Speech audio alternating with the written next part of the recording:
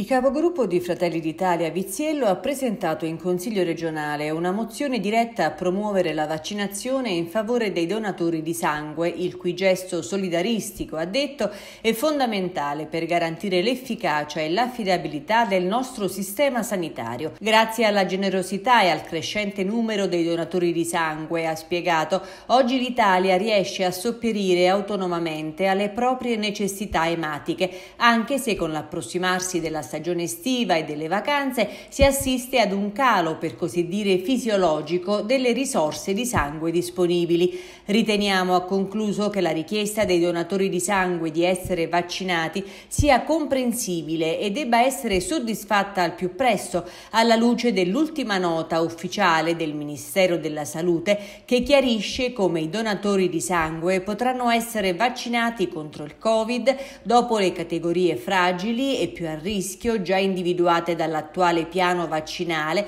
e della considerazione che grazie al loro gesto periodico i donatori di sangue consentono di salvare tante vite umane, garantendo al contempo uno dei livelli essenziali di assistenza del Paese.